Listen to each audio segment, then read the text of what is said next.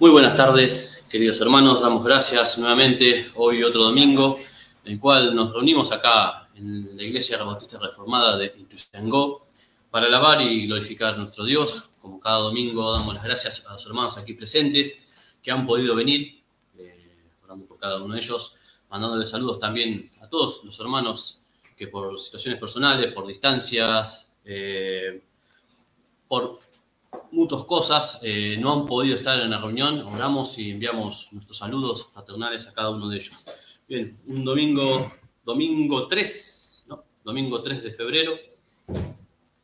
Eh, otro domingo que estamos aquí para alabar y glorificar a nuestro Señor Jesucristo.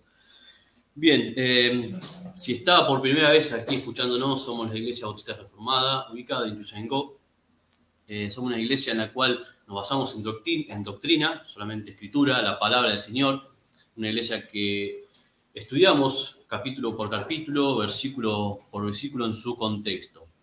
Eh, así nos basamos. También cada domingo, eh, nuestra hermana, realmente nuestra hermana Marcela, es la encargada de leernos cada día un capítulo de la Confesión de Fe de 1689.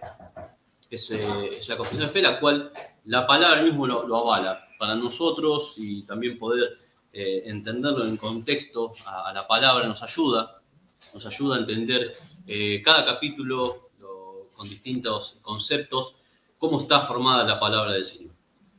Estos fueron hermanos que escribieron hace muchos años eh, para mostrar de que el Señor dice estas cosas, porque como hasta estos tiempos hay muchas personas, muchos pastores, entre comillas, maestros, enseñan doctrinas cerradas, doctrinas que no son del Señor, sacan todo de contexto y así, como dice la palabra, tiene que pasar todas estas cosas para que sepamos cuáles son las ovejas del Señor, cuáles son de su rebaño, sabiendo que la voluntad es del Señor siempre, en cada cosa, en cada camino que, en el cual estamos.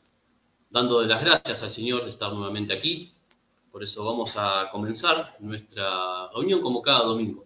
Primeramente, compartiéndoles un versículo, la palabra del Señor, y orando antes de comenzar la reunión, y luego seguiremos, como tenemos de costumbre, cantar himnos y cánticos espirituales que también son doctrina. Eh, no es lo principal en la reunión, pero cantamos para alabar y glorificar a nuestro Señor Jesucristo, sabiendo que son doctrinas los himnos y cánticos y salmos que cantamos cada domingo dentro de su contexto.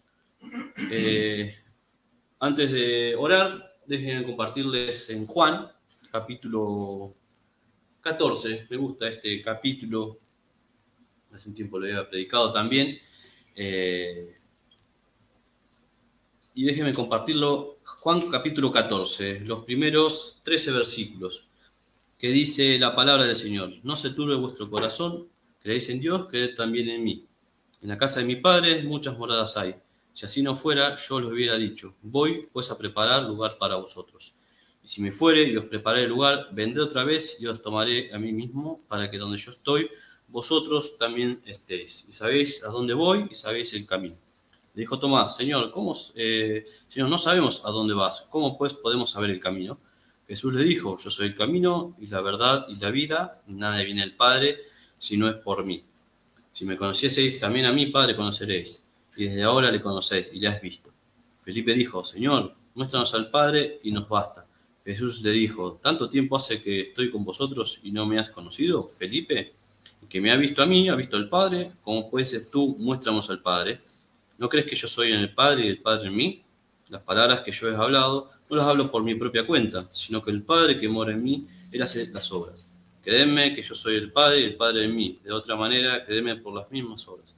De cierto, de cierto os digo, que el que mí cree, las obras que yo hago, él las hará también, y aún mayores hará, porque yo voy al Padre.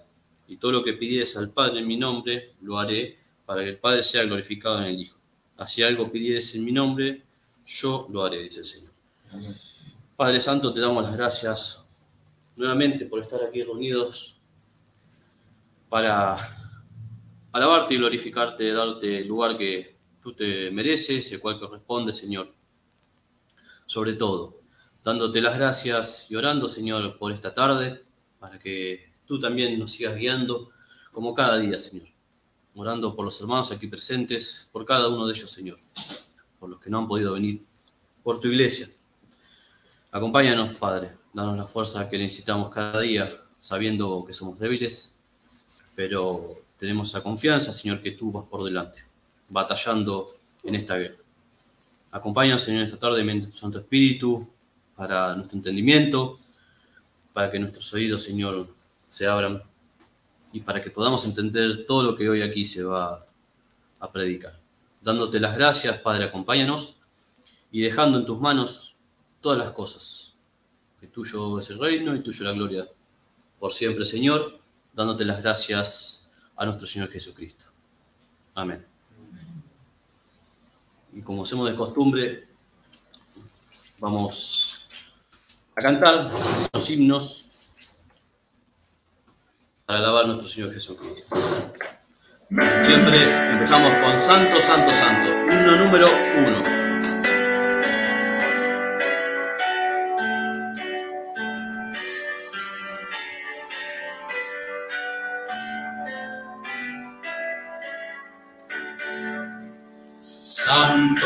Santo,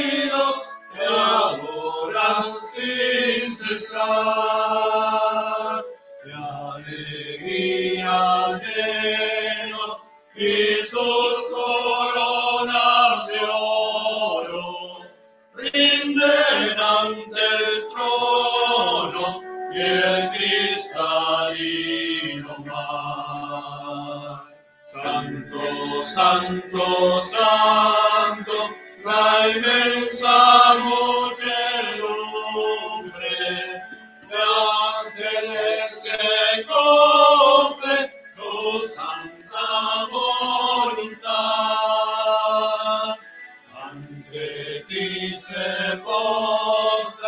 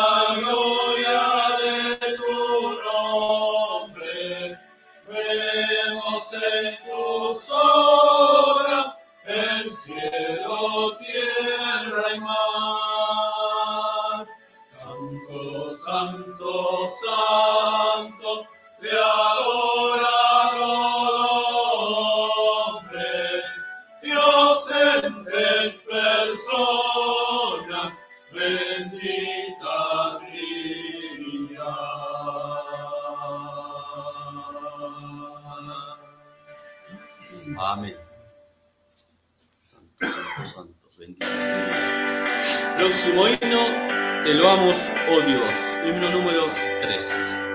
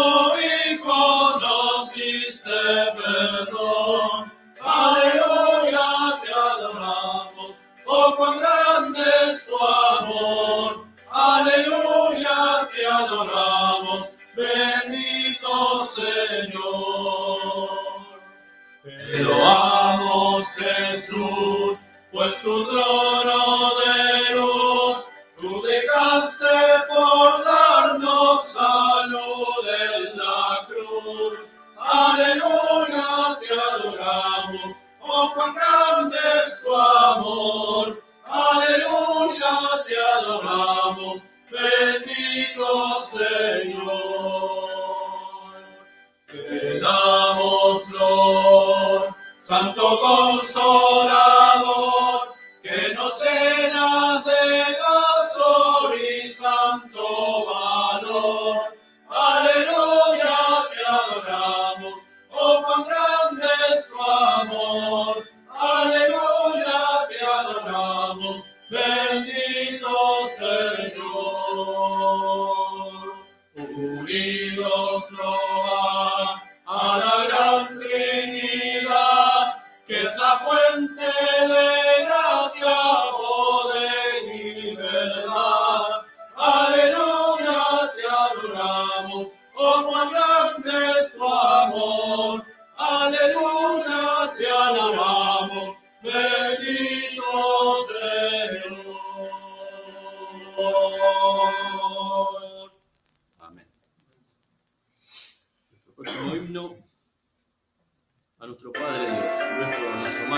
Va a compartir lo que preparó para hoy.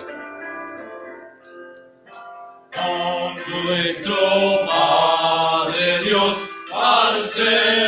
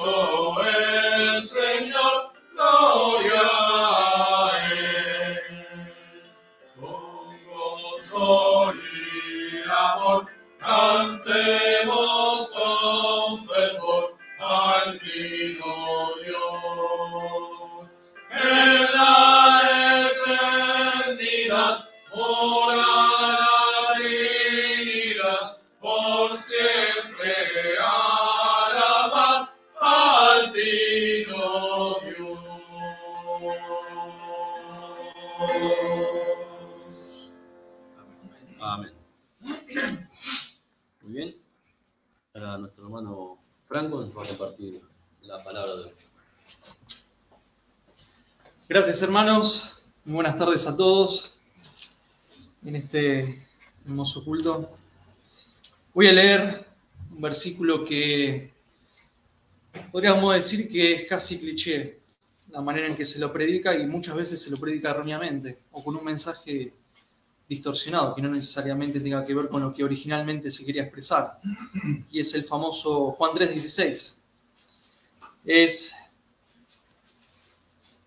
es la exposición fiel de que Dios es amor, y ese es uno de los atributos por excelencia de nuestro Señor.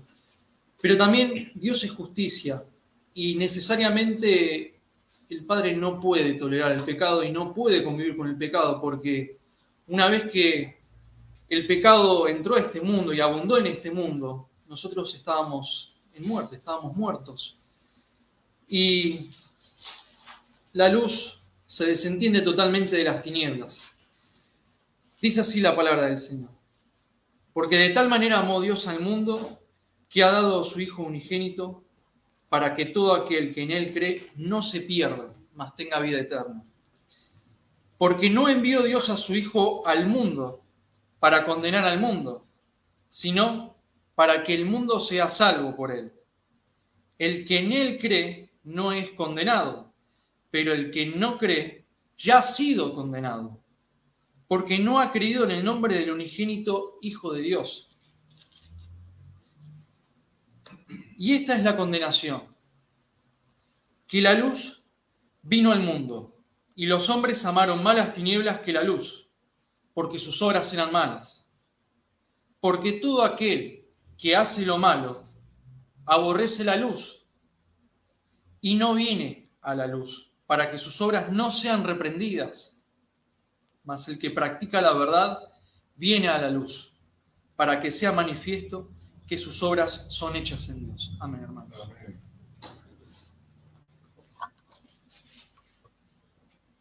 Gracias, Franco. Gracias por compartir esa palabra maravillosa. Eh, y que, ¿no? Lo que habla el Señor, como lo estamos estudiando en Génesis, ¿no? Que Él creó, nos creó a imagen y semejanza. Y, y que Él sabía todas las cosas que iban a, suceder, ¿no? Pero siempre para Dios tuvo un propósito en todo esto. Eh, porque si empezamos en Génesis, lo que ha eh, predicado el pastor de los días, y hoy justo da por el tema, vamos por el, el día sexto, eh, la creación ¿no? del hombre, sabiendo que Él los creó a imagen, semejanza y que es algo importante de lo que todo lo que creó el hombre es lo más importante en todo esto. Por eso dice, se señoren entre los animales, en todas las cosas hechas.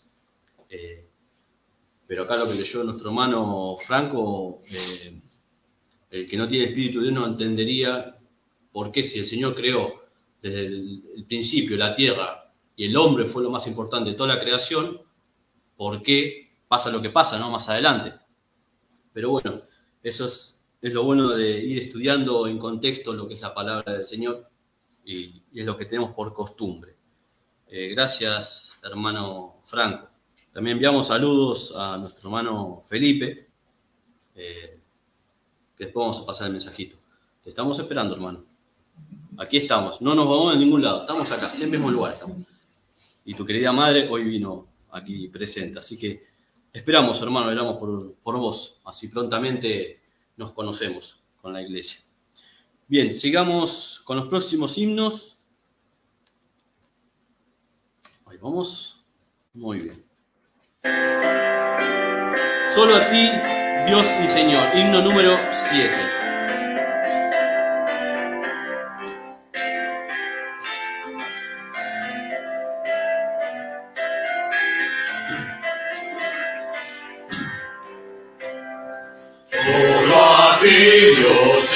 Dios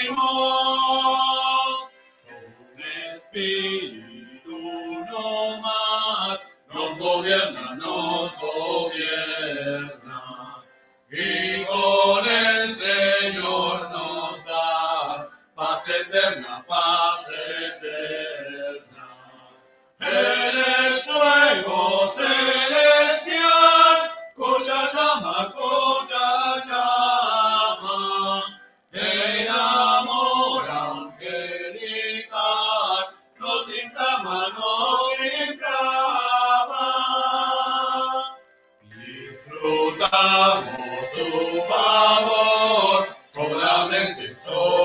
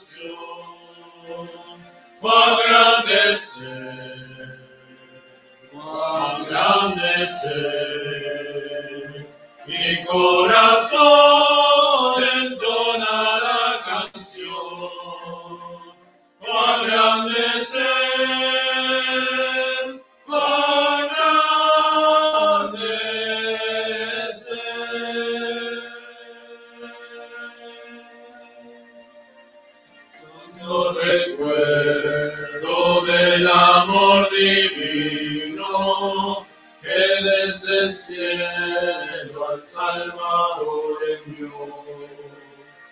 Aquel Jesús que por salvarme vino, y en una cruz sufrió por mí murió. Mi corazón entona la canción. Cuando grande es Él, cuán grande es Él. Mi corazón entona la canción, cuán grande es Él.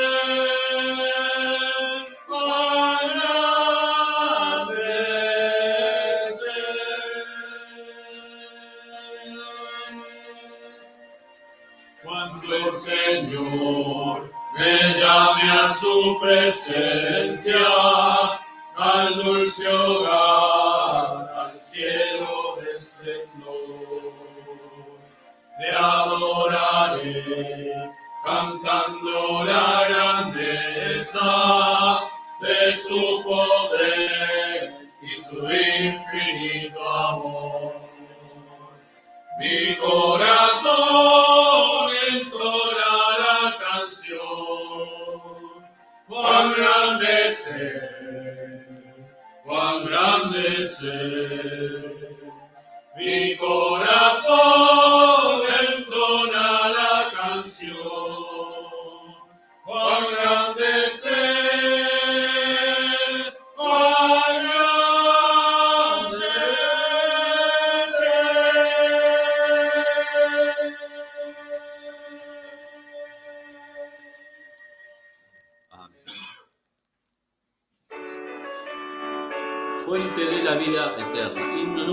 35.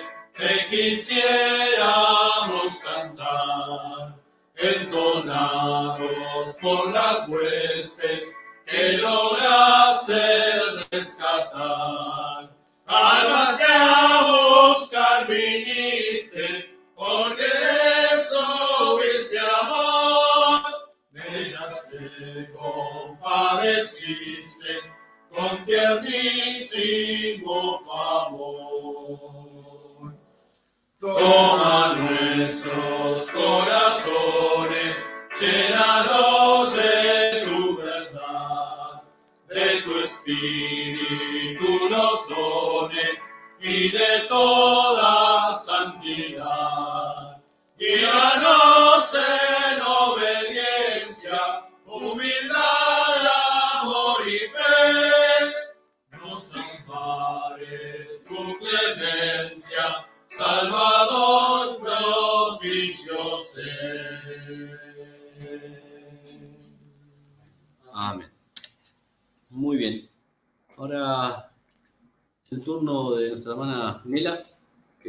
compartir la palabra que hoy nos tiene preparada.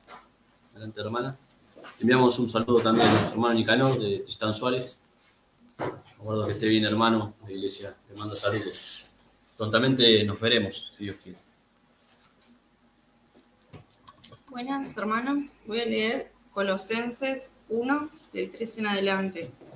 Dice, siempre orando por vos- vosotros, damos gracias a Dios, Padre de nuestro Señor Jesucristo, habiendo oído de vuestra fe en Cristo Jesús y el amor que tenéis con todos los santos, a causa de la esperanza que os está guardada en los cielos, de la cual ya habéis oído por palabra verdadera del Evangelio, que ha llegado a vosotros, así como a todo el mundo, y lleva fruto, crece también en vosotros desde el día que oíste y conociste la gracia de Dios en verdad, como lo habéis aprendido de Epafras, nuestro consiervo amado, que es un fiel ministro de Cristo para vosotros, a quien también nos ha declarado vuestro amor en el Espíritu, por lo cual también nosotros desde el día que lo oímos no cesamos de orar por vosotros y de pedir que seáis llenos del conocimiento de su voluntad en toda sabiduría e inteligencia espiritual, para que andéis como es digno del Señor, agradándole en todo, llevando fruto en toda buena obra y creciendo en el conocimiento de Dios, fortalecidos con todo el poder conforme a la potencia de su gloria y para toda paciencia y longanimidad con gozo dando gracias al Padre que nos hizo aptos para participar de la herencia de los santos en luz, en el cual nos ha librado de la potestad de las tinieblas y trasladó el reino de su amado Hijo, en quien tenemos redención por su sangre y el perdón de pecados. Amén. Gracias. Gracias, manera, por la palabra compartida. Eh, el Señor a su tiempo llama a los que son los que le pertenecen. Eh, damos las gracias Gracias porque el Señor nos mantiene firmes cada día.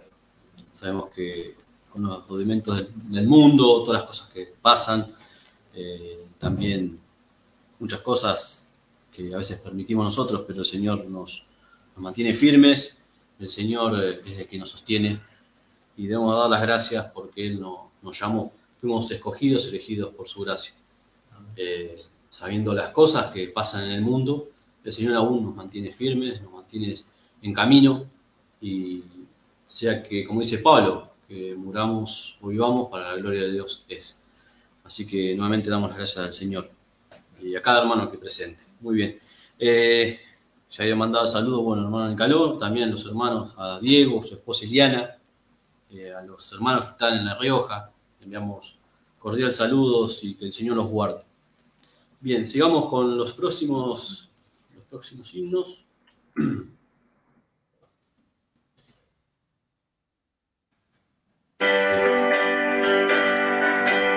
Gloria, gloria, himno número 38.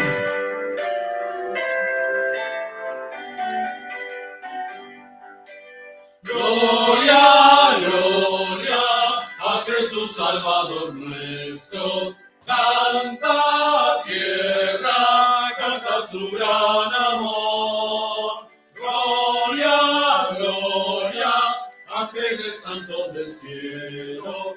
A su nombre del eternal glor. Cuenta cómo él descendió del cielo vida sufrir dolor. Gloria, gloria, ángeles santos del cielo, a su nombre en eternal glor. Gloria, gloria, a Jesús Salvador nuestro, por nosotros Él con la cruz cargó, por salvarnos sufrió pena de muerte, del pecado Cristo nos libertó. Alabable, oh qué amor tan grande que nos brinda este que Él mostró. Gloria, gloria, ángeles santos del cielo, brindando al que nos rescató. Gloria, gloria a Jesús Salvador nuestro, cielos canten su gloria y majestad. Jesucristo reina por siglos eternos, corona de rey por la eternidad.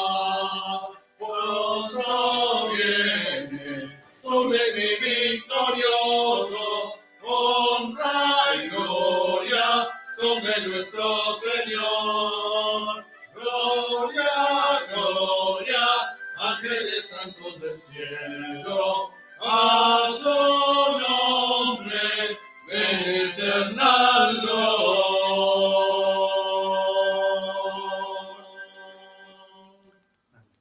Amén.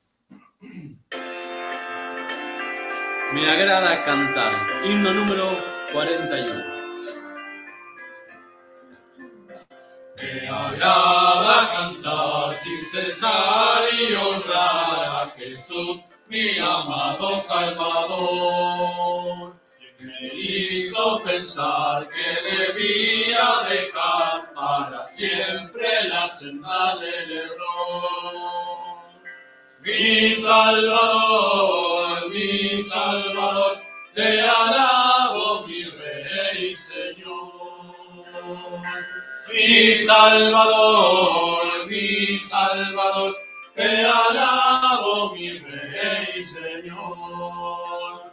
A Jesús acudí, el perdón recibí, y ahora feliz yo soy en él.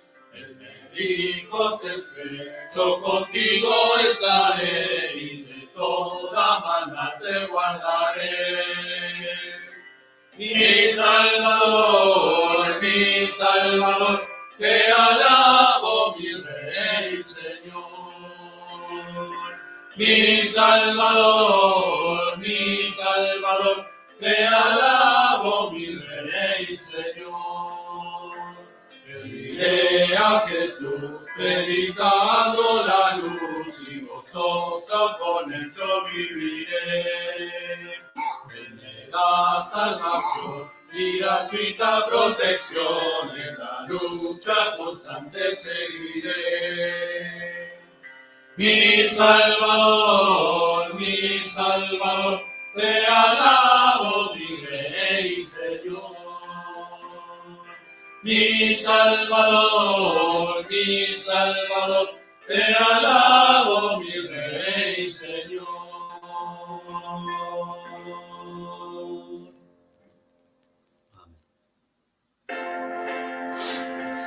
Siguiente himno, maravilloso es el nombre de Jesús. Himno número 46.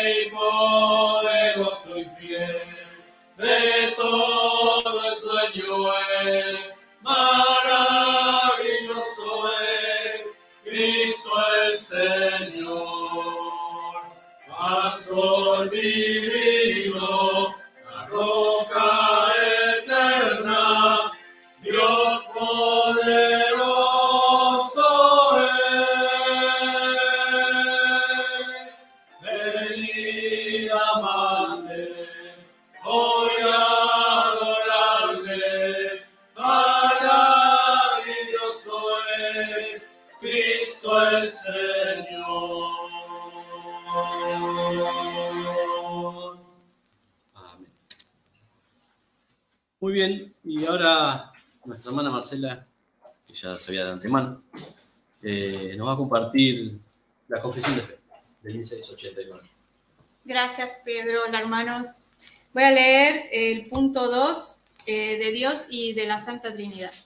Dice así. El Señor nuestro Dios es un Dios único, vivo y verdadero, cuya subsistencia está en Él mismo y es de Él mismo, infinito en su ser y perfección, cuya esencia no puede ser comprendida por nadie sino por Él mismo.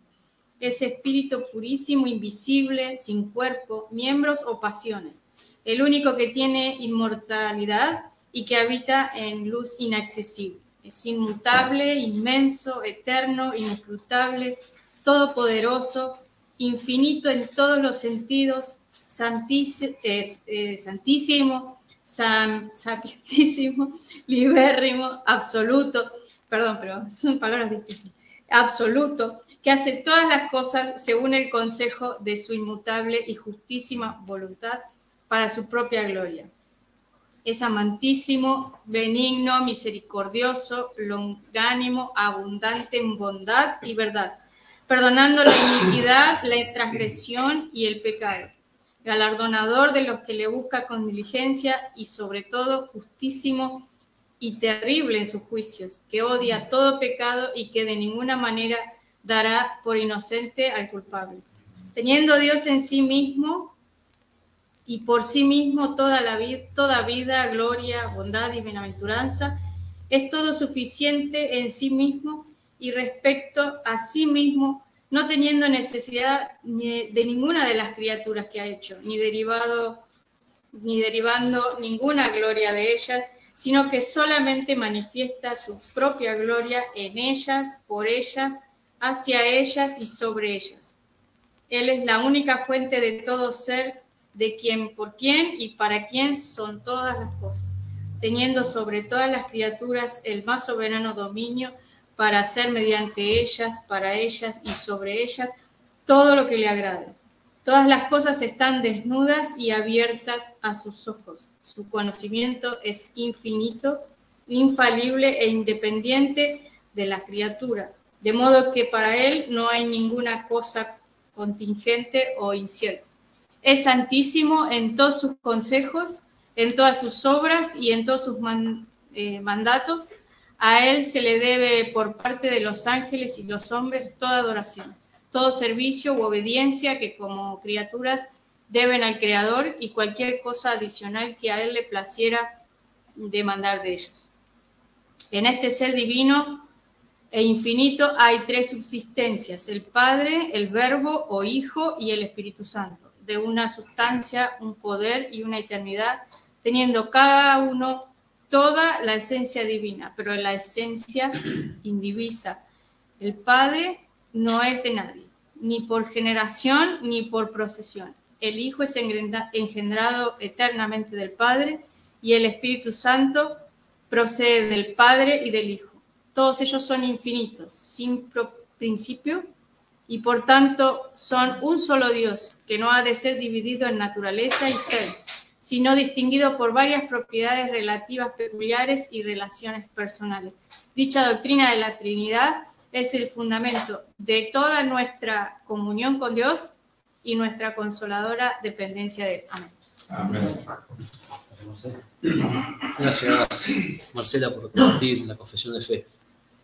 Bueno, vemos que Dios, ¿no? Tenemos, eh, no es, es único, principio y fin, no fue creado ni nada. Y un lindo capítulo este, que yo acabo de leer de Marcela. Es como empezamos con Génesis, ¿no? Eh, cuando dice, hagamos al hombre a nuestra imagen y semejanza. Es importante esa palabra, hagamos, ¿no? Como dice Marcela, la Trinidad. Sabemos que no está en la, palabra, no está escrita eh, la Trinidad, pero entendemos que el Padre, Hijo y el Espíritu Santo es un Dios, la misma persona. ¿no? Como muchos tratan de, de, de hacer el ejemplo pone el pastor siempre como una pizza. El Padre esto es uno, Dios es una cosa y el Espíritu Santo es otra. No, es el mismo Dios, como dice en la palabra, el principio y el fin, el cual engendró al Hijo y por el Espíritu Santo engendró por Hijo y el Padre. Eh, gracias, Marce, gracias por compartir la confesión de fe. Si, si quiere buscarlo hoy en día, gracias a la Internet, damos gracias también por estos medios en los cuales podemos llegar a otras personas. Eh, para esas cosas son útiles el Internet. Eh, para lo bueno, como dicen, ¿no? De lo bueno, de lo, malo y lo bueno, agarrar todo lo bueno, ¿no? Entonces damos las gracias al Señor por estos medios y la confesión de fe la puede encontrar en internet o si quiere nos escribe y la compartimos. Y para tener también un contexto y tener algo más, aparte de la palabra, que siempre, juntamente, siempre hagamos con la palabra del Señor, todas estas cosas. Que sea la palabra y lo que leamos para ver si es lo que dice ese libro o una confesión de fe es lo que la palabra del Señor dice, siempre acompañado de la Biblia. Muy bien, gracias Marce nuevamente. Eh, sigamos la última parte de los himnos. Eh, antes de entrar a la parte que más nos importa eh, a nosotros, es el Evangelio y la palabra del Señor, la prédica que está preparada para hoy. Jesús es Rey soberano. Himno número 47.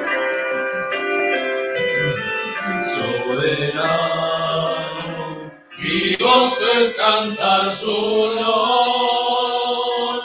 Es rey y me pan hermano, es rey y me su amor. Le canto su trono de gloria, le vino a sacar de la escoria. Soy feliz por él. Jesús es mi amigo a mi lado, y en sombras o en luz siempre va, paciente y humilde a mi lado, y ayuda y consuelo me da. Por eso constante lo sigo, porque Él es mi rey y mi amigo. Y yo soy feliz, y yo soy feliz por él. Señor, que pudiera ayudarte por tanta bondad para mí. Me basta servirte y amarte, es todo entregarme a ti. Entonces aceptas mi vida, que aquí solo queda rendida. Y yo soy feliz, yo soy feliz por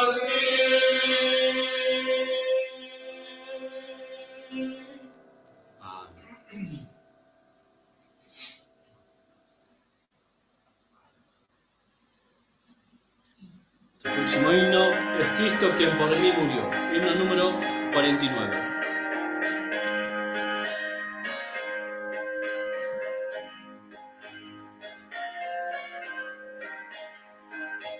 Es Cristo quien por mí murió, mis culpas él borró. Cuán grandes penas él sufrió, cuán grande es su amor.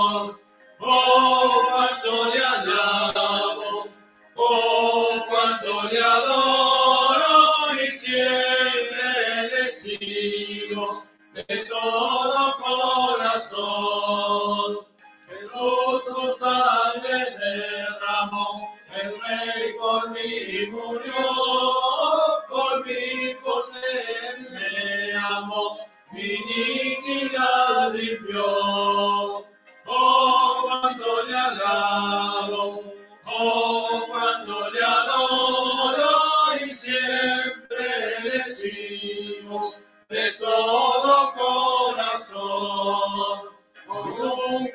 puedo yo pagar la deuda de su amor. Estoy aquí, mi Salvador, recíbeme, Señor. Oh, cuando le alabo, oh, cuando le adoro y siempre le sigo de todo corazón. Vivir con Cristo me paz, con Él habitaré, pues tuyo soy y hoy en más, a nadie temeré. Oh, cuánto le alabo, oh, cuánto le adoro y siempre le sigo de todo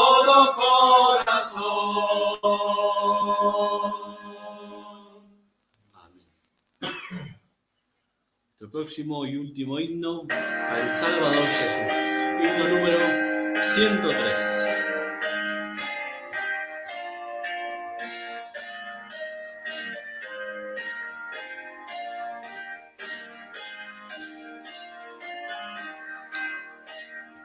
Al Salvador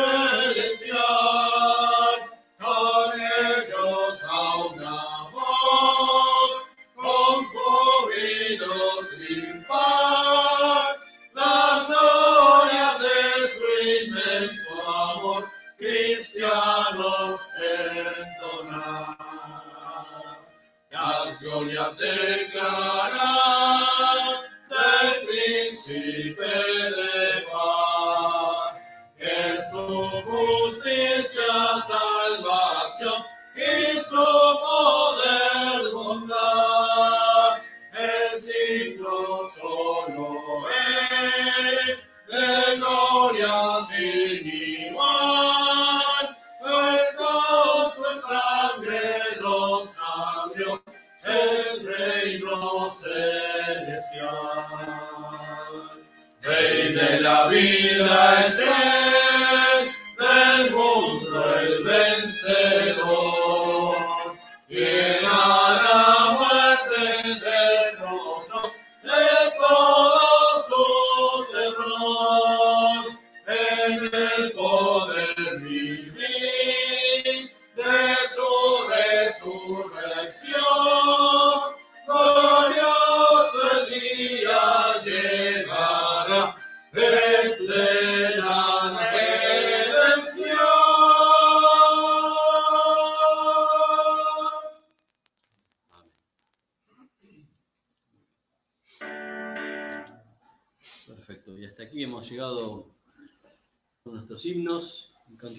espirituales, dándole las gracias al Señor. Y ahora es el turno de nuestro hermano Javier para compartir la palabra y la oración a la prédica.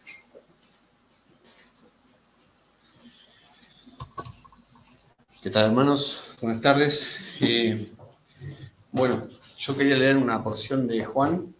Eh, venimos leyendo todos los hermanos de la voluntad del Señor, de, de que el Señor es uno, que el Señor todo lo hace por el consejo de su voluntad, que como Franco leyó también, que el Señor, con Juan 3.16, ¿no? que muchas veces está mal explicado lo enseñan mal.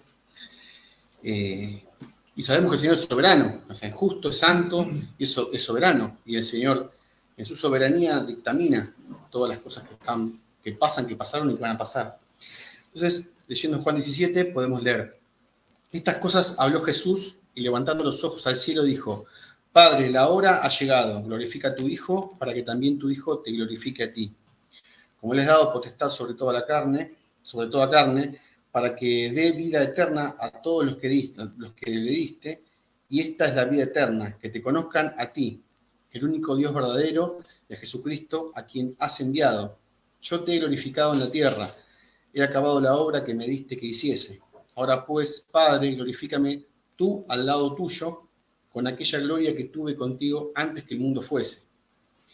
He manifestado tu nombre a los hombres que del mundo me diste, tuyos eran y me los diste, y han guardado tu palabra. Ahora han conocido que todas las cosas que me has dado proceden de ti, porque las palabras que me diste las, les he dado, y ellos las recibieron, y han conocido verdaderamente que salí de ti, y han creído que tú me enviaste. Yo ruego por ellos, no ruego por el mundo, sino por los que me diste, porque tuyos son. Y todo lo mío es tuyo, y lo tuyo es mío, y he sido glorificado en ellos. Y ya no estoy en el mundo, mas estos están en el mundo, y yo voy a ti. Padre Santo, a los que me has dado, guárdalos en tu nombre, para que sean uno, así como nosotros. Cuando estaba con ellos en el mundo, yo los guardaba en tu nombre, a los que me diste. Yo los guardé y ninguno de ellos se perdió, sino el hijo de perdición, para que la escritura se cumpliese. Pero ahora voy a ti y hablo esto en el mundo, para que tengan mi gozo cumplido en sí mismos. Yo les he dado tu palabra y el mundo los aborreció, porque no son del mundo, como tampoco yo soy del mundo. No ruego que los quites del mundo, sino que los guardes del mal. No son del mundo, como tampoco yo soy del mundo. Santifícalos en tu verdad. Tu palabra es verdad. Como tú me enviaste al mundo, así yo los he enviado al mundo. Y por ellos yo me santifico a mí mismo, para que también ellos sean santificados en la verdad. Mas no ruego solamente por estos, sino también por los que han de creer en mí por la palabra de ellos, para que todos sean uno, como tú, oh Padre, en mí y yo en ti, que también ellos sean uno en nosotros, para que el mundo crea que tú me enviaste. La gloria que me diste, yo les he dado para que sean uno, así como nosotros somos uno. Yo en ellos y tú en mí, para que sean perfectos en unidad, para que el mundo conozca que tú me enviaste y que los has amado a ellos como también a mí me has amado. Padre, aquellos que me has dado, quiero que donde yo estoy, también ellos estén conmigo, para que vean mi gloria que me has dado, porque me has amado desde antes de la fundación del mundo. Padre justo, el mundo no te ha conocido, pero yo te he conocido, y estos han conocido que tú me enviaste, y les he dado a conocer tu nombre, y lo daré a conocer aún, para que el amor con, el que me has amado esté en ellos y yo en ellos. Padre, te damos gracias en esta tarde que podemos venir aquí delante de tu presencia para glorificarte, para alabarte, para bendecir tu nombre, Señor. Gracias te damos, gracias por estos signos, gracias por estos momentos, gracias por los hermanos, gracias por tu palabra y gracias, Señor, por ser tan claro, Señor, en tu palabra y que estamos seguros que podemos confiar en tu santa y divina voluntad, que no depende de nuestro accionar, sino del consejo de tu propia voluntad. Te agradecemos, Señor, y confiamos en ti. Confiamos, tenemos esa fe, esa pista y esa confianza en ti para poder vivir una vida plena, Señor, sabiendo que tú estás dentro de nosotros y en nosotros. Te agradecemos, te damos gloria y te pedimos, Señor, por esta palabra que va a predicar el pastor, para que tú, Señor, lo llenes de tu, de tu santa y divina voluntad, para que podamos abrir esos oídos espirituales para escucharte. Te agradecemos, Señor, en nombre de Cristo Jesús. Amén.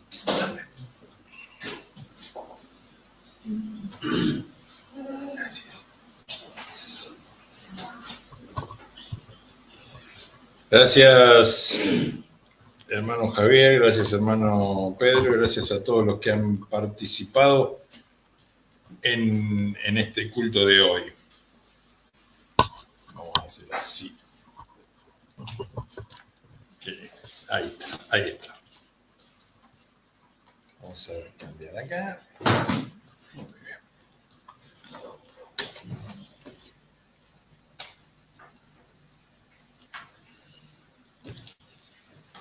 Primero vamos a ver si podemos saludar a algunos de los, que están aquí con nosotros compartiendo.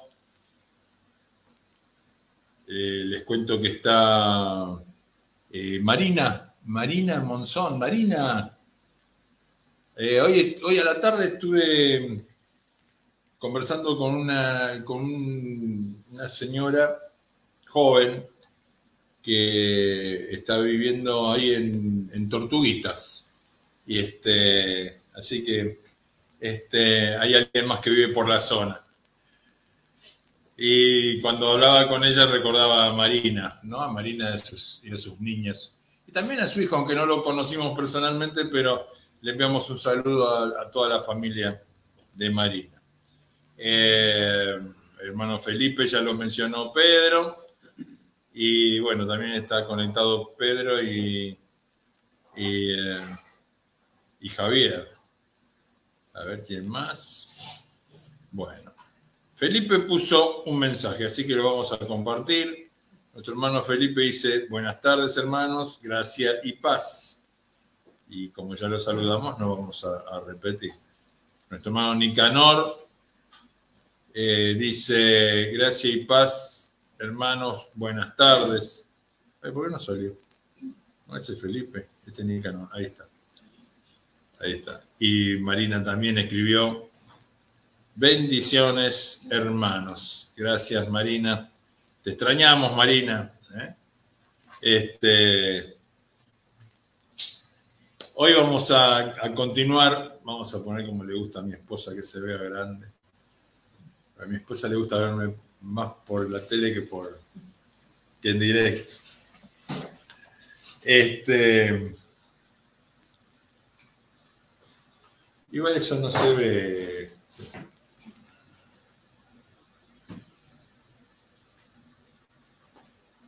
Bueno.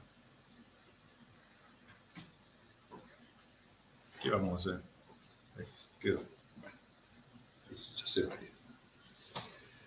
Hoy nos toca continuar con el libro de Génesis en el capítulo 1. Mire, eh, comenzamos el año predicando Génesis 1 y todavía estamos en Génesis 1, ya estamos en, ya estamos en marzo, ¿verdad?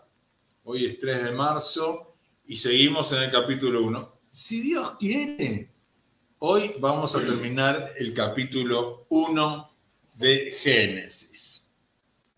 Este, estoy orando porque quizá, no, no es una decisión tomada todavía, pero le aviso a los hermanos que quizá a partir del domingo que viene el capítulo 2 lo van a predicar otros predicadores, pero bueno, eso lo vamos a ir viendo dentro de un rato, después de que termine la, la reunión, vamos a conversar al respecto. Y ese cartelito no se va de ahí. Voy a sacar esto un poquito. A ver, vamos a acomodarnos. Y no se quiere ir, ¿eh? A ver si fue. Ahí está. En realidad yo sé que eso no sale al, al aire, pero bueno, eh, es un poco molesto. Y como dije, ¿no? Hoy, hoy vamos a, dentro de lo posible, vamos a tratar de terminar el capítulo 1. El capítulo 1 comienza eh, a partir del versículo 24 eh, a hablar de, de lo que sería el final de la creación.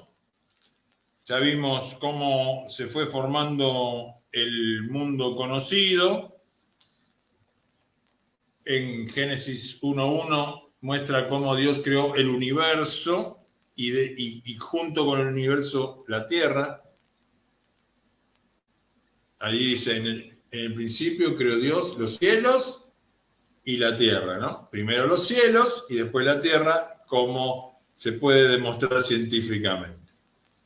Pero a partir del, 20 del versículo 24 y hasta el versículo 25 aparece en la creación eh, los animales terrestres. Y del ver- versículo 26 hasta el 31 ya es específicamente mostrada la creación de la humanidad. Vamos a tratar de llegar con todo esto.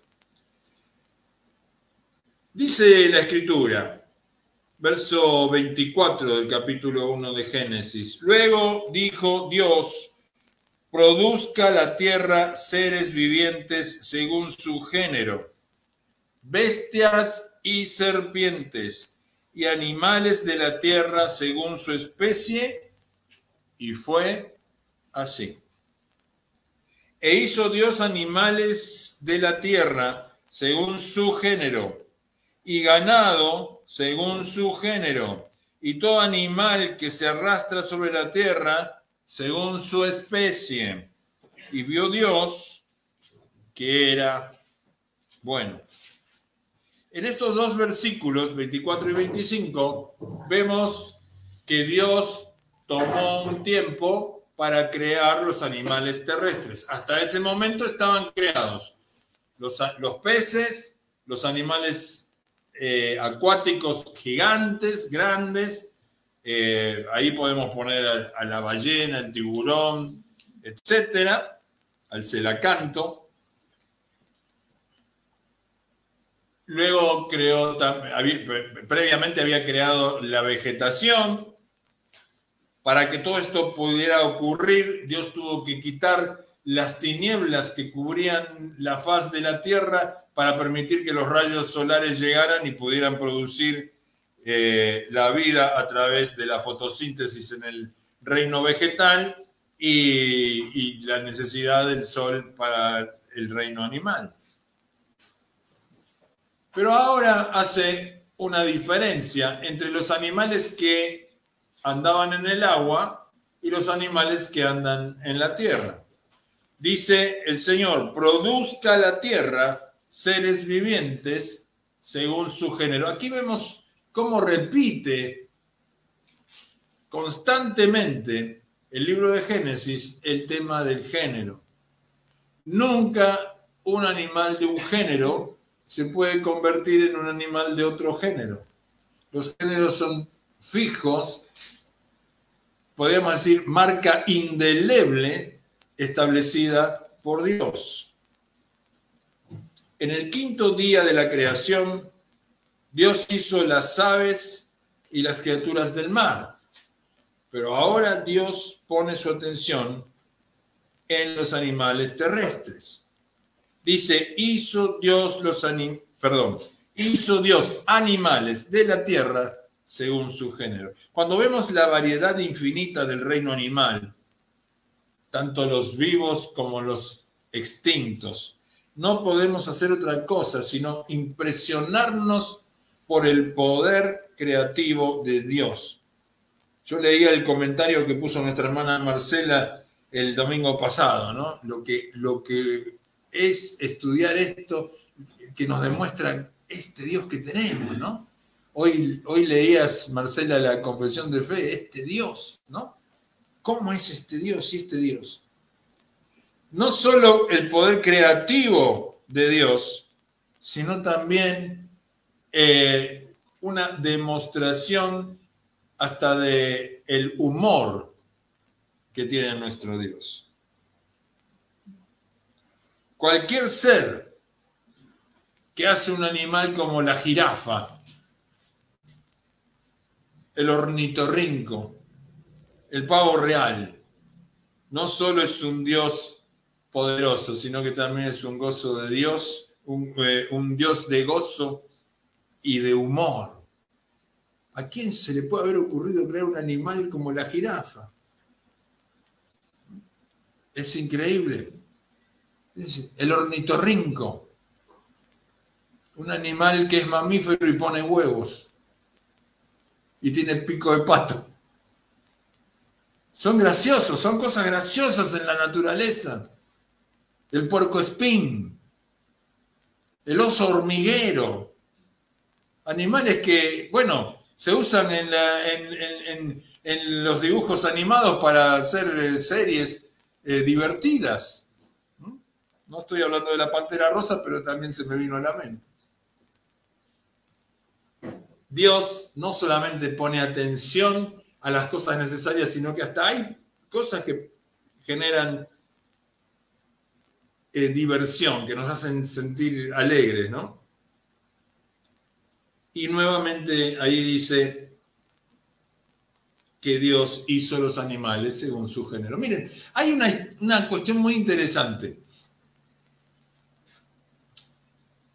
Hay una, un género de animales dentro de las aves que se llama el pavo. El pavo tiene una hembra que se llama la pava. La pava tiene pavo.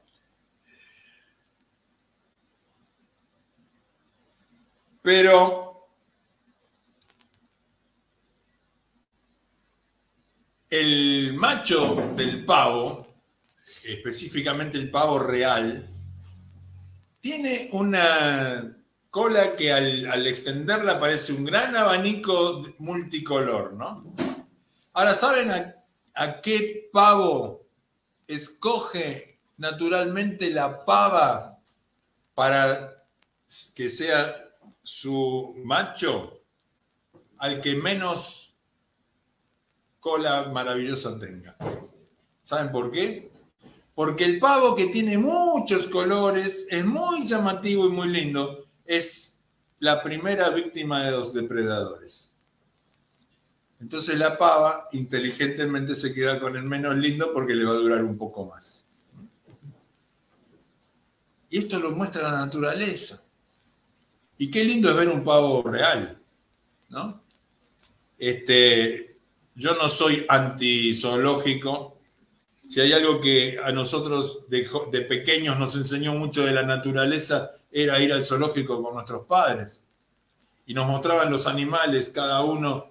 Y claro que había algunos animales que, que sufrían, nosotros en aquel momento no lo sabíamos, pero hoy en día podrían existir zoológicos con animales que no estén sufriendo y que, y que nosotros podamos tener acceso a verlo directamente y, si es posible en su hábitat mucho mejor, pero viajar a África es un poco complicado.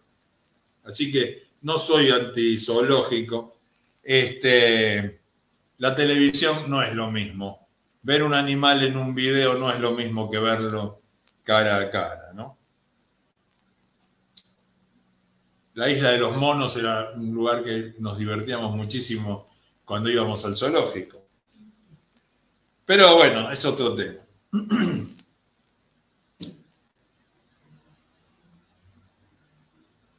El tema de la pava es un ejemplo de un fenómeno natural que nos muestra la importancia de la supervivencia del más apto. ¿Se acuerdan que cuando hablamos hace poquito de el evolucionismo, de lo que enseñan los evolucionistas, y que en realidad no hay tal cosa como evolución. Ahora sí hay supervivencia del más apto. Por eso las eh, mariposas grises viven más en los lugares donde hay muchas fábricas y chimeneas, porque pasan desapercibidas para los depredadores. En cambio, las mariposas blancas o, o multicolores son fácilmente detectables y por eso no hay muchas, porque se las comen los, las aves. Otra vez dice el Señor allí, según su género.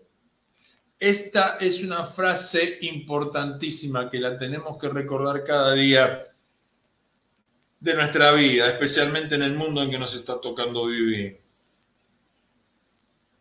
El Dios creador permite una gran variedad, una gran variación dentro de, una, dentro de un género de animales. Por ejemplo, los simios. Nosotros vemos los simios y vemos que hay simios pequeños, simios medianos y simios grandes. No hablamos de, gigantes porque en realidad nadie nunca los vio, pero el gorila es un, animal grande como un ser humano, eh, pero es un mono, no es un hombre. ¿Tenemos cosas en común? Claro que tenemos cosas en común. Este, diría un amigo mío, hay muchos gorilas, pero este, no refiriéndose al animalismo en realidad. Lo que sí vemos nosotros, que dentro de esa variación, un mono tití pequeñito también es un mono. O sea, dentro de la misma, del mismo género, vemos animales totalmente distintos. Hay, hay eh, eh, monos como el chimpancé que son muy inteligentes. Hay quien dice que son lo más parecido al ser humano. De hecho, cuando se envió un, eh, mono al espacio fue un chimpancé, porque se suponía que podía aprender algunas cuestiones que tenía que hacer de, tocar algunos botones en la nave espacial aunque en realidad todo eso se hace por control remoto desde la Tierra, no hacía falta que el monito tocara nada, pero bueno, es otro tema. Este, hay toda una fantasía alrededor de eso, ¿no? Este, eh, Rusia, el primer animal que mandó al espacio fue una perrita, la, perra laica, la primera, la primera este, can astronauta. Pero nunca un animal de un género va a poder convertirse en un animal de otro género. Nunca se puede cambiar de un género a otro. Eso está establecido en el ADN de cada especie y eso es incambiable. No se puede cambiar. Hoy en día hay científicos que trabajan sobre el ADN y pueden modificar el ADN y producir otra cosa, pero seguramente eso que se produce eh, no va a ser exactamente lo mismo que lo que creó Dios. Por ejemplo, la Biblia dice que nadie puede cambiarse el color de cabello. Bueno, hoy en día las hermanas se cambian el color de cabello, las mujeres se cambian el color de cabello. Acá no, porque son todas bíblicas y no lo hacen, pero este, o, hacerme crecer, ¿no? Hoy en día se hacen cirugías cuando una persona tiene algún problema de crecimiento y se puede estirar varios centímetros un hueso para que la pierna crezca, por ejemplo, ¿no? Este, personas que tienen el fémur más corto de lo que lo deberían tener, se lo extienden y crecen. ¿no? Este, es más difícil de la rodilla hacia abajo porque hay dos huesos que hay que hacerlo crecer simultáneamente, pero también puede hacerse. Y le ponen unos clavos y le van moviendo un tornillo y van estirando y separando el hueso, y el hueso vuelve a conformarse, a unirse, se cierra y va creciendo la persona. Claro que cuando se escribió la Biblia nadie lo hubiera imaginado eso. Pero es totalmente eh, antinatural. O sea, no es natural. No es que yo me tomo una pastillita de gigantolina y me hago grande. No. Tenemos el caso del famoso jugador de fútbol Messi, ¿no? que le decían este, la pulga porque era chiquitito. Y él se fue a España y allá en España lo vieron buen jugador y los, los españoles pusieron mucho dinero para que él pudiera crecer y formarse este, artificialmente. Artificial. Nadie puede cambiar de un género a otro. Podemos tomar un perrito y llevarlo a un veterinario y que le haga una operación y le saque los órganos este, masculinos y que le dibuje un órgano femenino y va a aparecer una perrita a simple vista, pero esa perrita no puede tener cachorros. Porque no se puede cambiar el género con el cual vino al mundo. Damos vuelta a la página. Versículo 26. Entonces dijo Dios. Entonces dijo Dios. Ya estaba todo hecho, el, el mundo ordenado, las plantas, los peces, las aves y ahora los animales terrestres. Y ahora dice, entonces dijo Dios, hagamos al hombre, pero le agrega una palabra, allí una frasecita, a nuestra imagen, conforme a nuestra semejanza. Yo podría haber dicho, hagamos al hombre, punto. Y podría haber hecho, haberlo hecho. Pero el hombre es el único ser creado que tiene esta característica. Hagamos al hombre a nuestra imagen, conforme a nuestra semejanza. Y agrega Dios algo muy importante, y señoré en los peces del mar. Propiedad transitiva. La voy a aplicar acá. Señoré sobre los peces del mar. Señoré sobre las aves de los cielos. Señoré en las bestias. Señoré en toda la tierra. Señoré en todo animal que se arrastra sobre la tierra. Toda la creación Dios la pone bajo el dominio del hombre. Por eso el orden creativo es Dios, el hombre y la creación. Nosotros, hermanos, hermanas, ustedes que están en su casa, deben entender que todo ser creado que no sea un ser humano está bajo el dominio de los hombres, del ser humano, hombres y mujeres. Hoy en día, nuestra sociedad se ha convertido en una sociedad animalista, donde hay, yo he escuchado personalmente a mujeres decir que sus perritos son más amados que sus hijos. A mis perritos los quiero más que a mis hijos. Porque mis hijos me hicieron esto, esto y aquello. Mis perritos, ay, me ladran todo el día y hacen lo que yo digo. Si alguna vez lo escuchó, es terrible pensar esto, ¿no? La misma mujer que aborta a su hijo en su vientre, tiene un perrito que le da todos los mismos. Y no le vayan a tocar el perrito porque, ay, ay, ay. Los valores y los principios de la humanidad han sido trastocados de tal forma por Satanás que hay gente que prefiere un animal a un perro, a un ser humano, perdón. O un perro o un gato a una criatura. Lo miro a, Álvaro acá, ¿no? Y no lo cambiamos por nada.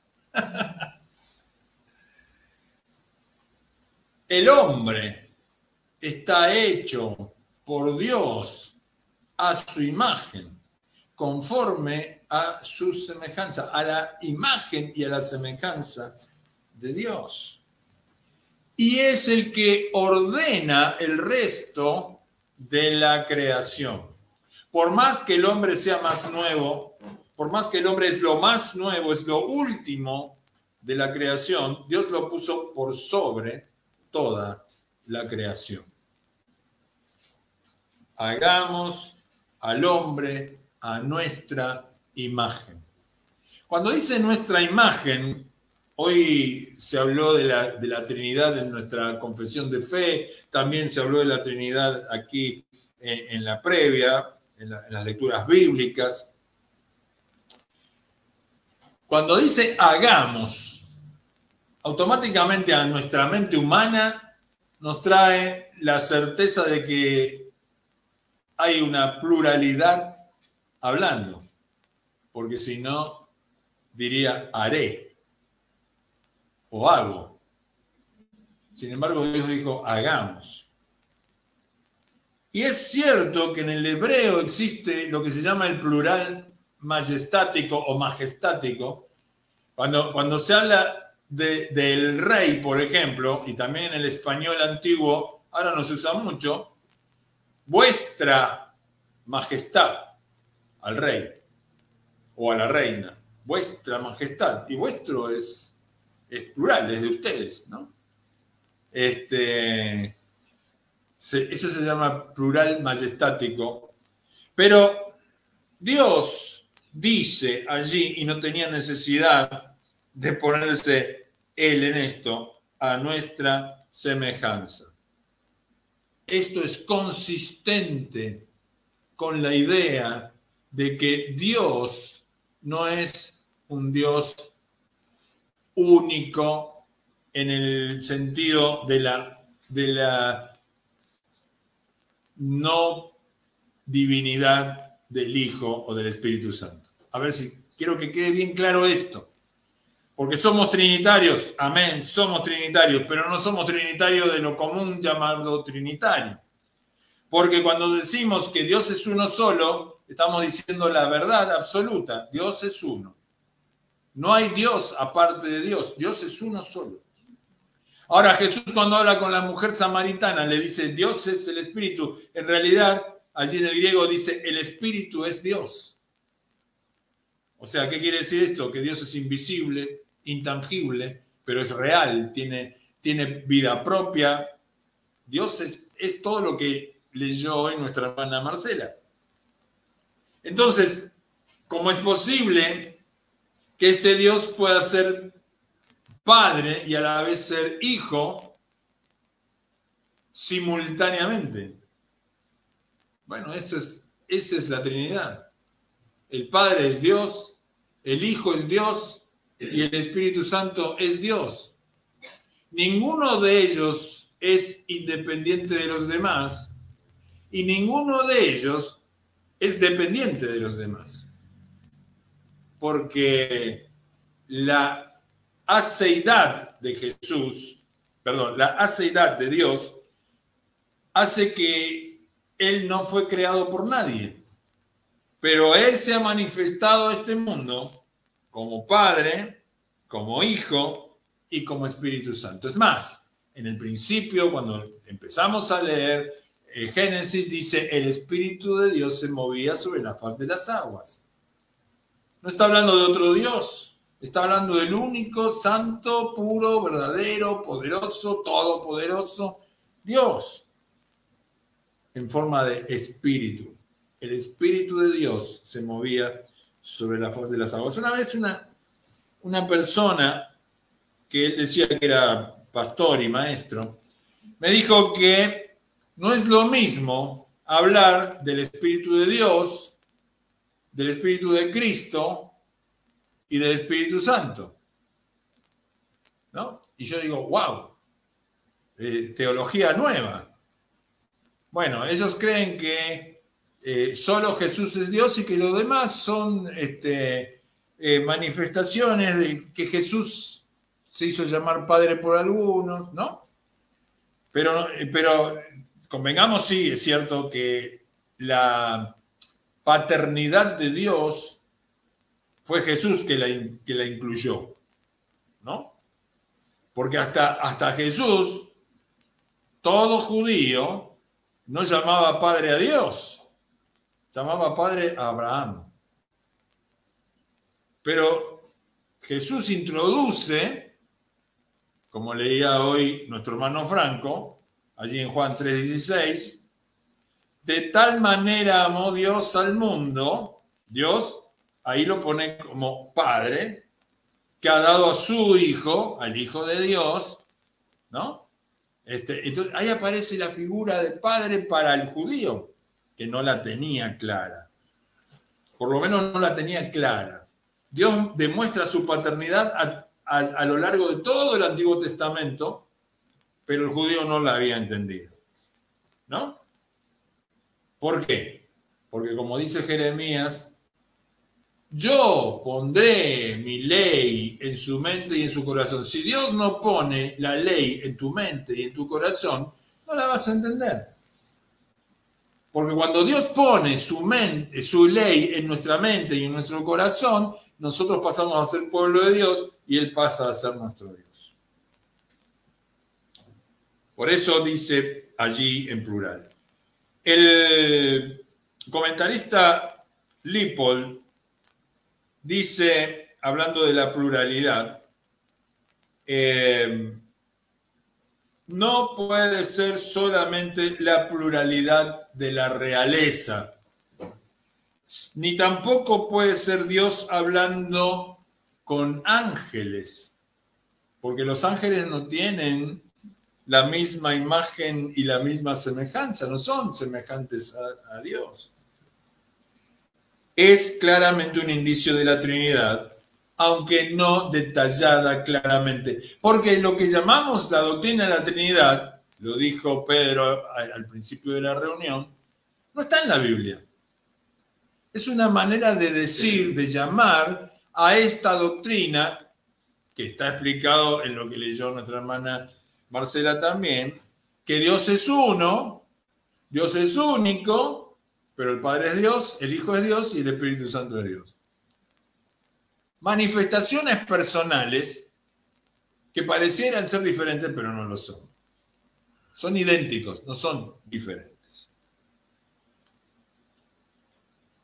Un entendimiento de quién es el hombre comienza cuando empezamos a entender que somos hechos a imagen de Dios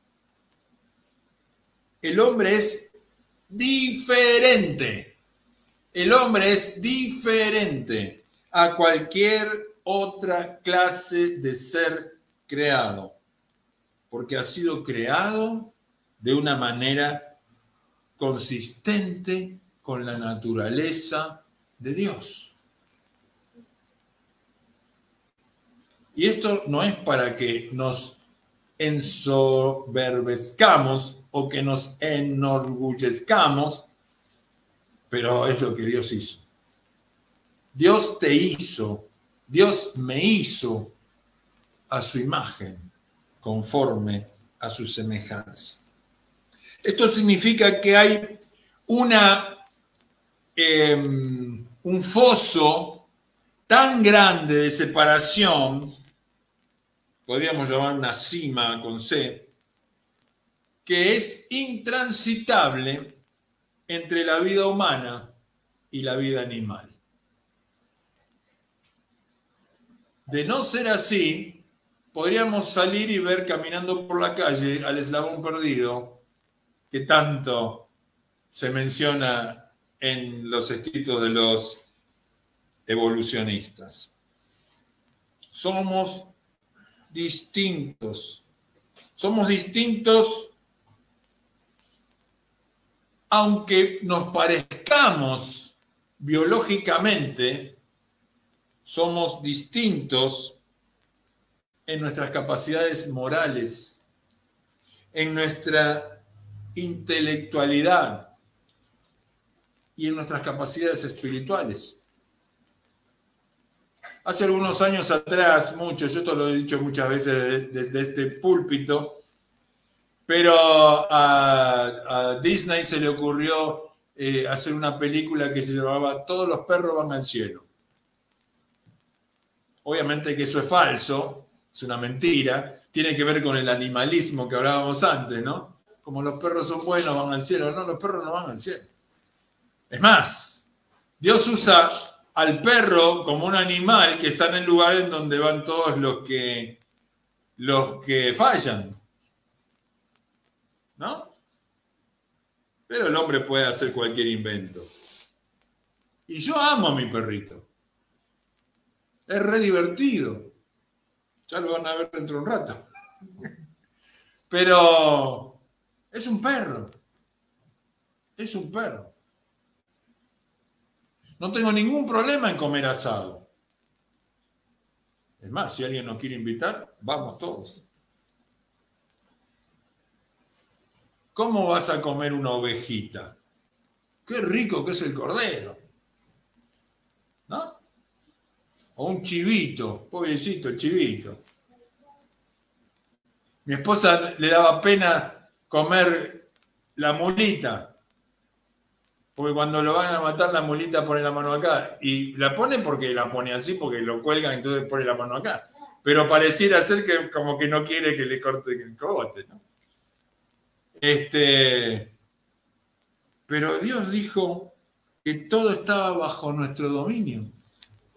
¿Mm? Significa también la diferencia de la naturaleza humana a la del resto de los animales, que hay una brecha insalvable entre la vida humana y la vida angelical. No solo tenemos diferencia entre todos los animales, contra todos los animales, sino que también tenemos una gran diferencia contra todos los ángeles. Esto es muy importante. Ya vamos a llegar al momento que habla de que los hijos de los hombres vieron que las hijas de, ¿no? de Dios y ahí hablan de que eran ángeles. No, no no eran ángeles. Los hijos de Dios vieron que las hijas de los hombres eran lindas. No habla de ángeles ahí, habla de seres humanos. Los hijos de Dios eran los que hacían la voluntad de Dios, la familia de Set, los descendientes de Set, y los hijos este, de los hombres eran la descendencia de Caín. Y Dios había dicho que los hijos de Set no tenían que unirse con los hijos de Caín. Pero las chicas eran lindas y los hombres cayeron. Siempre el hombre cae. Y Dios sabía que esto iba a ser así.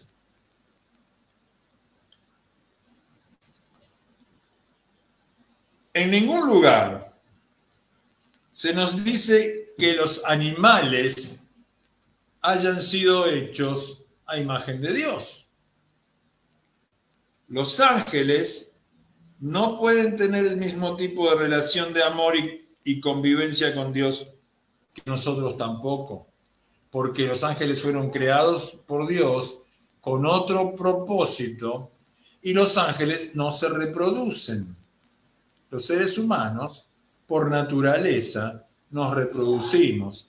Por eso el ser humano fue creado, como vamos a ver, Dios mediante en el capítulo siguiente, que no, ya les dije, no sé si lo voy a predicar yo, pero vamos a ver ahí, que este, Dios lo hizo macho y hembra al hombre, ¿no? Entonces, algo que sí nos permite entender esto de cómo Dios crea al hombre a su imagen conforme a su semejanza, nos permite aceptar sin ningún problema la encarnación del Hijo de Dios. El Hijo de Dios pudo encarnarse, venir a este mundo como hombre, porque la naturaleza humana estaba creada a imagen y según la semejanza del Hijo de Dios.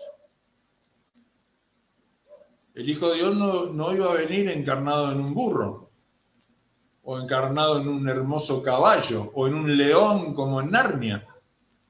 No. Vino en forma de hombre. Y cuando entendemos esto de que Dios nos creó conforme a su imagen y semejanza, es cuando nos damos cuenta, es posible perfectamente que Dios se encarne en un hombre. Podía venir al hombre, porque aunque la divinidad y la humanidad no son lo mismo, son compatibles. Son compatibles. Esto significa que la vida humana, la vida humana tiene un valor intrínseco. Por eso nosotros defendemos la vida desde el momento en que se crea en el vientre de la mamá. No estamos hablando de calidad de vida. La calidad de vida es algo que experimenta el individuo de acuerdo a muchas circunstancias, pero la vida humana tiene valor intrínseco. Por eso la iglesia de Jesucristo defiende el valor de la vida desde el momento de la gestación. No hay otra.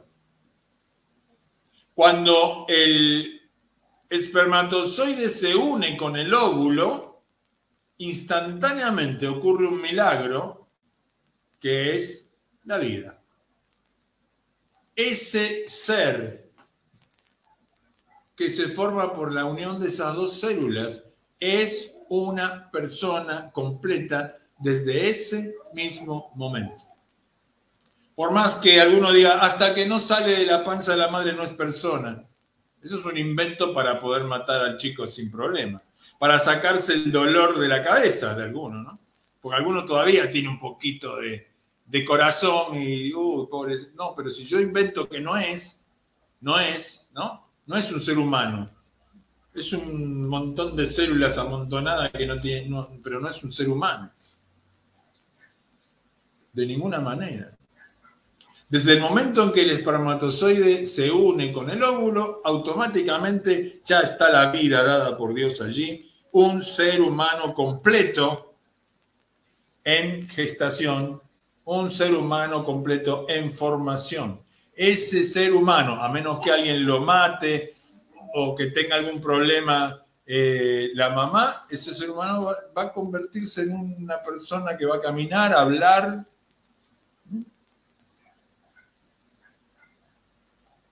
Vino a mi mente el, recuerdo de un pastor que decía, el milagro de Dios. Si el nene nace en China, al poco tiempo habla chino, ¿no?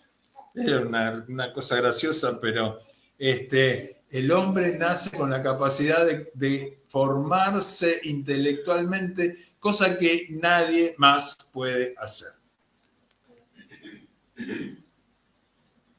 Seguramente habrán visto algunas películas específicamente sobre los simios, ¿no? Hay películas en donde algunos científicos trabajan con los simios, le enseñan eh, lenguaje de señas, entonces el simio eh, aprende a comunicarse con los humanos. Pero esa capacidad no pasa de ahí. ¿no? Si tiene hambre, le hacen que se toque la panza. ¿Tiene hambre? Y sí. ¿no? Entonces, pero, pero eso es todo un trabajo de, lo que se llama reflejo condicionado. Hay un científico que se llamó Pavlov, que él hacía que los, que los perros, al sonar una campana, eh, produjeran ácido gástrico. ¿Cómo hizo esto? Y fácil, durante un montón de tiempo tocaba la campana y le daba de comer a los perros. Tocaba la campana y le daba de comer. Cada vez que tocaba la campana el perro sabía que había comida. Un día dejó de darle comida y el perro, aunque no había comida, producía los, ácidos gástricos como si hubiera comida. Pero eso se llama reflejo condicionado. En realidad, no es que él logró que los perros produzcan, no, los perros lo hacen por, por este, eh, porque su naturaleza lo lleva a eso.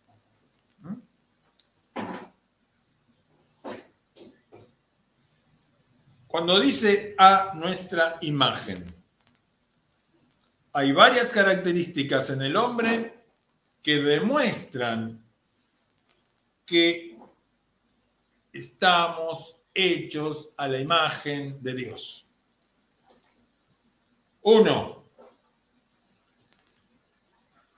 somos el único ser creado que miramos hacia adelante y hacia arriba. Bueno, alguien dirá algún mono también, pero el mono camina, camina inclinado. Solo el hombre, cuando digo hombre hablo del género, hablo, hablo de, de la humanidad, ¿no? O sea, sea macho o sea hembra, sea hombre o sea mujer. Tiene una variedad tan grande de expresiones faciales. No solo los rasgos faciales. Nosotros tomamos a, las hermanas que están acá, todas las ponemos en fila y, son diferentes caras. ¿Mm? Pero no solo eso, sino los gestos. Podemos tener cara de alegría, podemos tener cara de tristeza, podemos tener cara de nada, ¿no? Este, cuando, cuando la señora viene con la comida a la mesa y, este, y, uno mira y no le agrada mucho lo que hay, ella enseguida dice, ¿por qué no te gustó? Porque lo mostramos con la cara. Solo el hombre, tercero, solo el hombre tiene un sentido de vergüenza solamente el ser humano se le pone la cara roja cuando se avergüenza. No existe ningún otro ser en el reino animal que se ponga rojo de vergüenza. Nosotros nos avergonzamos. Y la cara refleja. Solamente nosotros, solamente el hombre, quinto, ¿no? Tercero, cuarto, cuarto solamente el hombre habla. Ah, pastor, pero los loros hablan. No, no, los loros imitan. Hay que estar horas para que el loro diga gloria a Dios. Conocemos una familia pastoral que tenía un loro. Y el loro recitaba algún salmo de memoria, ¿no? Y un día el pastor y la familia se tuvieron que venir para Buenos Aires y le dejaron el loro a un vecino. Y cuando volvió, el vecino no le quería devolver el loro.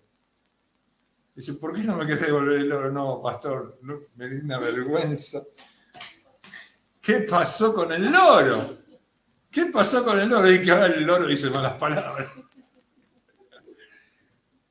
El loro no piensa lo que habla, no es que piensa algo y lo expresa con su voz, no imita, copia. Les hablé eh, domingos anteriores de eh, ese pajarito que imita las voces de otros pájaros para comérselos, ¿no? Este, el caburé se llama. Solo el hombre habla y se comunica a través de su voz. Hay animales que tienen algo parecido a las cuerdas vocales humanas, pero obviamente por más que los científicos quisieron hacerlo, salvo la película eh, el, Pla- El planeta de los simios, este, el, el mono no habla. No habla.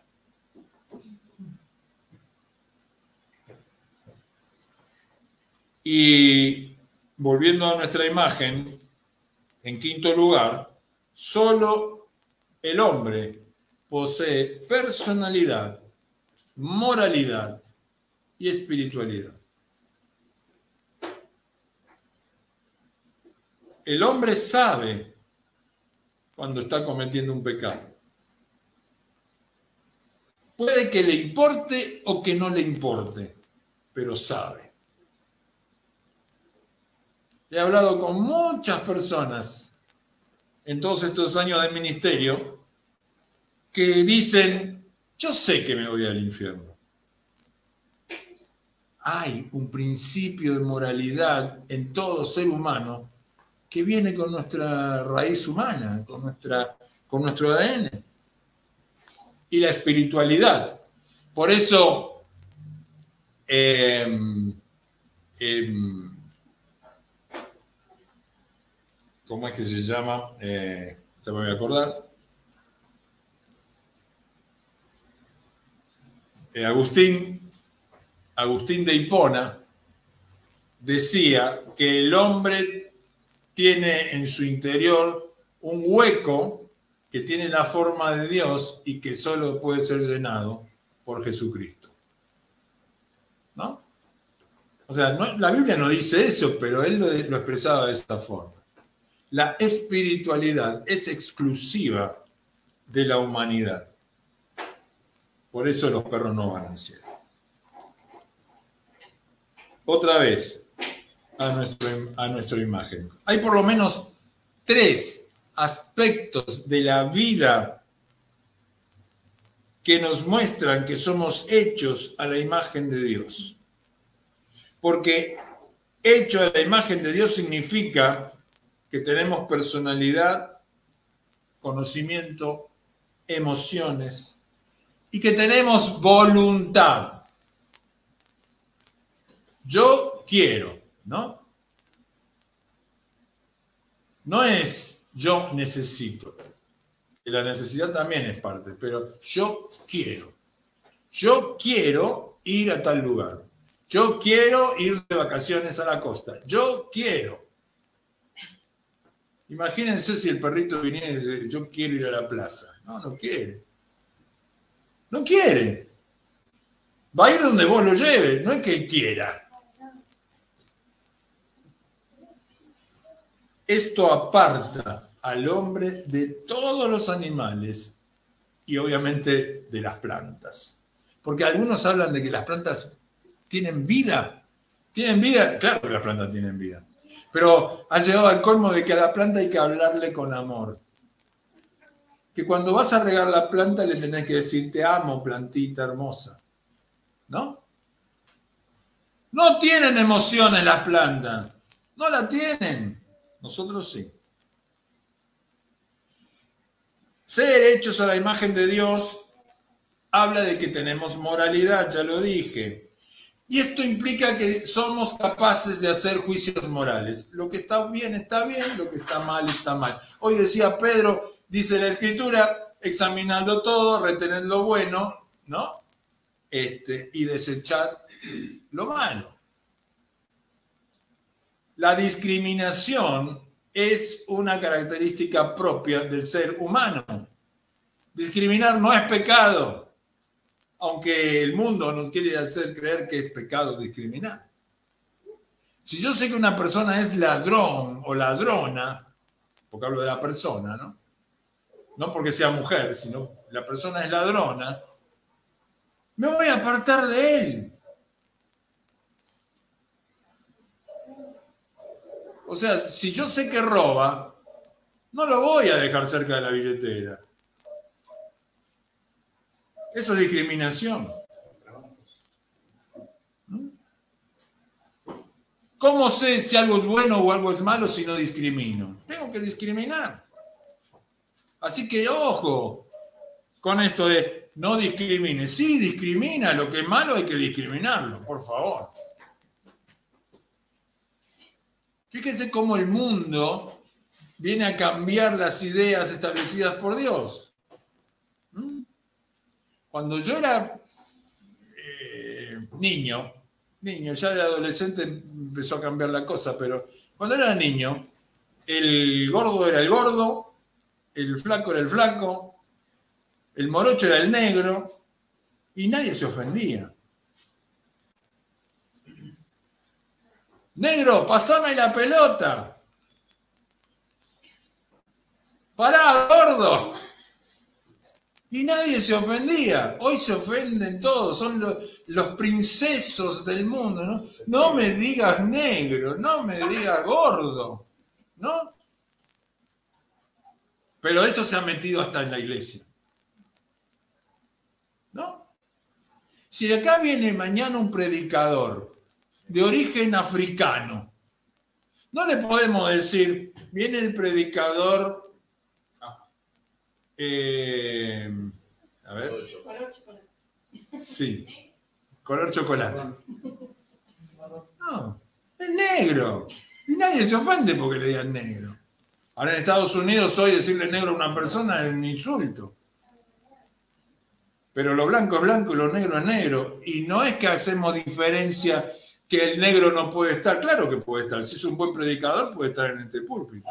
Si predica sana doctrina, puede estar en este púlpito. Ahora, por más blanco que sea, si no predica sana doctrina, no puede estar en este púlpito, porque no es eso. Lo que, no es por el color que lo discriminamos, es por lo que piensa, por lo que cree.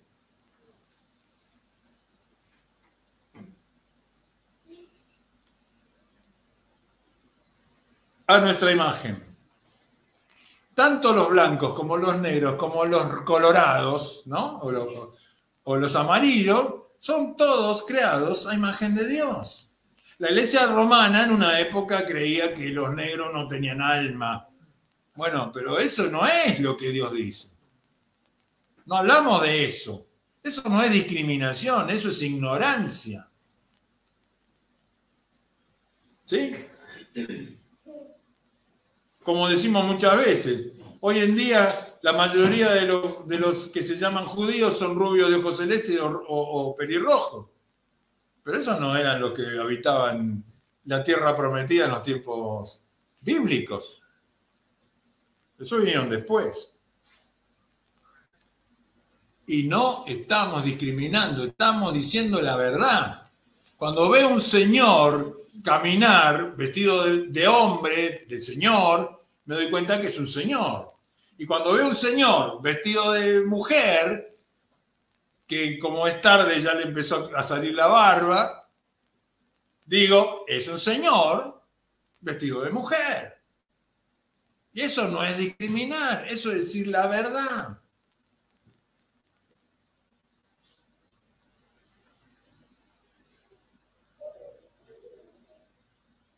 Cuando Dios dice a nuestra imagen, no quiere decir que Dios tenga un cuerpo como el nuestro. En la iglesia de Jesucristo de los Santos de los Últimos Días se enseña que Dios Padre tiene un cuerpo como el nuestro. Tanto así que José Smith vio a Dios este, eh, con cuerpo, ¿no? Esto es una aberración. La Biblia dice que Dios no tiene cuerpo. Dios es espíritu.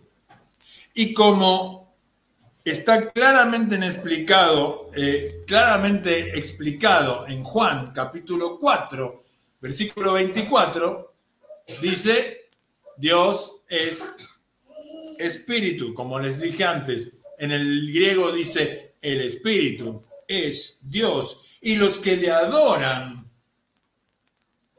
le adoren en espíritu y en verdad. O es necesario que le adoren en espíritu y en verdad. O en espíritu y en verdad es necesario que le adoren, depende de la versión que esté leyendo, pero eso es lo que dice. Dios es espíritu, intangible. no se puede tocar, invisible, no se puede ver. Es incomprensible, a Dios no lo podemos abarcar. No lo podemos abarcar. Porque si yo lo puedo comprender, si yo lo puedo apretar, entonces no es Dios. Pero aunque Dios no tiene cuerpo físico, que es claro que Dios no tiene cuerpo físico, diseñó el cuerpo físico de el hombre para que pudiera hacer muchas de las cosas que Dios hace. Por ejemplo, ver, oír, oler, tocar, hablar, pensar, planificar, entre otras tantas cosas. Eso demuestra que nosotros tenemos la esencia divina en nosotros. No hay ningún animal de la naturaleza capaz de hacer todas estas cosas, y mucho menos todas juntas. Y nosotros las tenemos todas. Hoy estuve, antes de venir a la, reunión, en, una, en un acto eh, que hizo la municipalidad de Ituzaingó y cuando terminé una señora se me acercó con algunas inquietudes, ¿no? Y, yo pensaba, eh, la necesidad de Dios en la persona nos, habla de que somos criaturas de Dios como dije la frase de Agustín, el hueco con la forma de Dios que solo puede ser llenado por Jesucristo. Dice otro, en otra explicación, no es muy seguro decir que el cuerpo del hombre tiene a Dios como patrón, como molde, porque Dios, siendo un espíritu sin cuerpo, no puede tener lo que llamamos cuerpo material. Aún así, el cuerpo del hombre debe ser tomado por lo menos como el mejor receptáculo para el espíritu del hombre. Y así debe tener por lo menos una analogía tan cercana que Dios y sus ángeles eligen mostrarse en forma humana cuando se aparecen al hombre. Recuerdan la historia de Sodoma y Gomorra. Ya la vamos a ver un poquito más adelante, pero un breve comentario. El Señor, en forma de hombre, se aparece junto con un par de ángeles en forma de hombre. Eran tan atractivos que los hombres del pueblo quisieron tener relaciones sexuales con él. ¿Mm? Obviamente era un pueblo totalmente depravado. ¿Y quién estaba ahí? Estaba el Señor y un par de ángeles. El que se va es el Señor y quedan los ángeles. Después, bueno, no quiero espolear el fin de la historia porque lo vamos a ver más adelante. Otra vez volvemos a la palabra del Señor que dice a nuestra imagen, conforme a nuestra semejanza. Los términos imagen y semejanza son diferentes. Imagen tiene que ver con la apariencia, lo que se ve. Y semejanza tiene que ver con algo más abstracto. Las dos tienen el significado parecido en el contexto, pero una tiene que ver con lo que se ve y la otra con lo que no se ve. La capacidad de hablar, de oír, de oler, de tocar, de pensar, de imaginar, de planificar. Esa es la apariencia. Antes de que Dios creara al hombre, declaró, determinó o estableció, como quiera decirlo, que el hombre iba a dominar la creación.